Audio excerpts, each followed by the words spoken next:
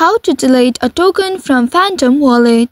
Hello and welcome back to our YouTube channel How to Tutorials. In today's video, I'm going to show you how you can delete a token from your Phantom wallet. To do so, first of all, you will need to open your Phantom wallet application on your mobile device and make sure you have access to your account. Once you are logged into your Phantom wallet account, you will land on this home page. Here on this main screen, you will need to scroll down and there you will see a list of all the tokens currently held in your wallet. Here you will need to scroll a bit down and then tap on this manage token list at the bottom of the screen. Once you tap on it, this will take you to the section that allows to manage which tokens are visible in your wallet. You may also use the search bar at the top of this section to find the specific token you wish to remove. And once you find the token, here next to the token name, you will see a toggle button. Simply tap on this switch to turn it off. For example, if you want to remove Bitcoin token from your wallet, then you will need to simply tap on the toggle button at the right side of this name. After doing that, this will hide the token from your main wallet view, but it will not be deleted from your wallet. After toggling off this button, you can return back to your wallet homepage and then there you will be able to see the token is no longer visible on your wallet screen but it is still stored in your wallet and you can re-add it later if needed. If you want to see the hidden token again,